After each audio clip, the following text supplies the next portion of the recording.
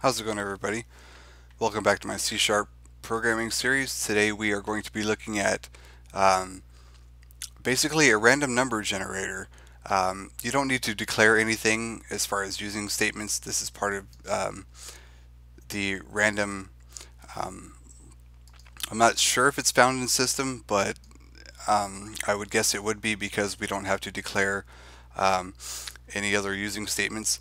So anyway, we're going to declare a new random class. We call that random for random number and assign, make it just declare a, a new random basically. And we also have an integer face.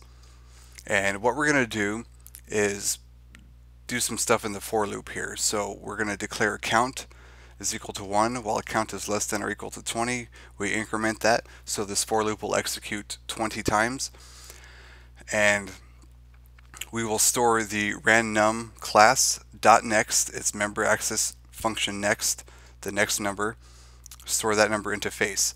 Um, next we'll take two parameters. The first parameter declares a number which cannot be which will be basically um, equal to or greater than.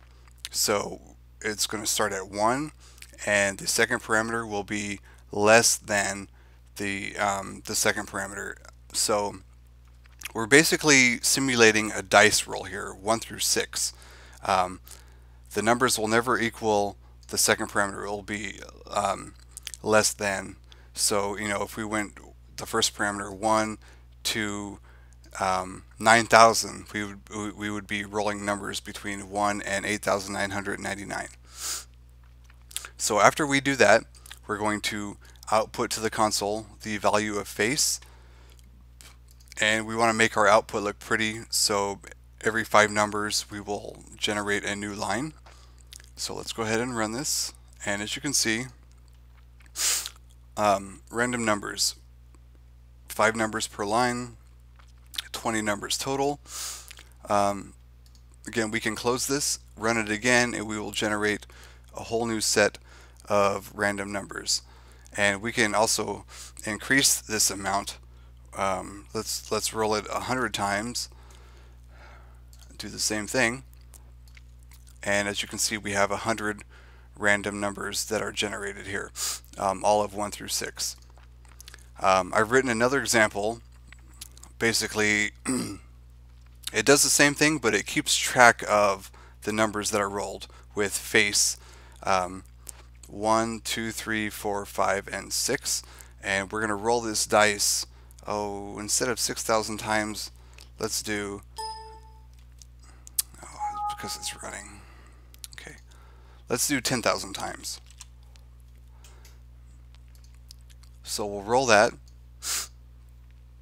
Basically, um, we're going to do the same thing with the random number next function, um, six-sided dice, one through six, and we will throw the variable face into a switch statement here, and basically if it is one, we will just increment the face one count because these are all um, set at zero, and um, if it's two, we'll increment the two count, three, four, five, so on and so forth.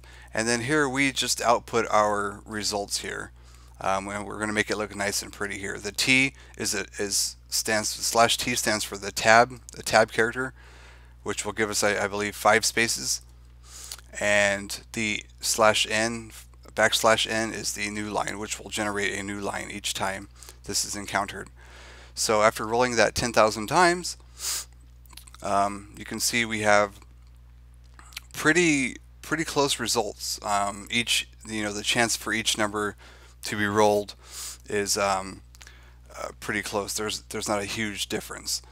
Now, of course, the chance could always be that one number will never be rolled, but the the odds of that statistically are are extremely low. Um, because because this does uh, generate a completely random number. Um, as far as C sharp is concerned, I'm not sure where the number, the seed value will come from, but in C++ we use the um, time function, which basically will seed the random number generator to ensure that we get a random number every time.